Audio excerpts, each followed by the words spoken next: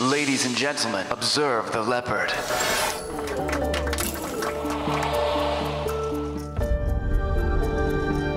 What do you photograph, Diane? Me? Um. Oh no, I'm, I'm not the photographer. My husband is.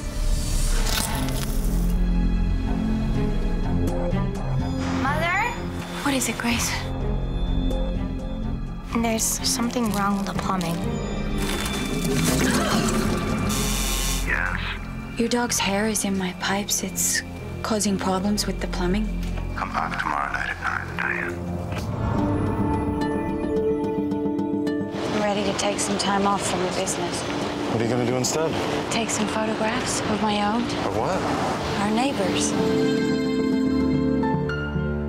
Hello? I saw you through my window. Why would you want to take a portrait of someone you've never seen? It scares me. I unbuttoned my dress on the porch tonight. I'm your wife. I shouldn't do that. Alan tells us you're doing a photo study, a little art project. Yes, sort of.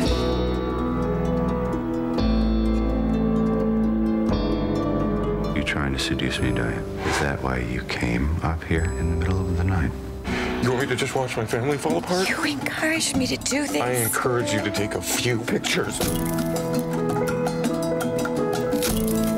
What's next? Are we gonna house a circus when it comes through town? To be a part To what, Diane?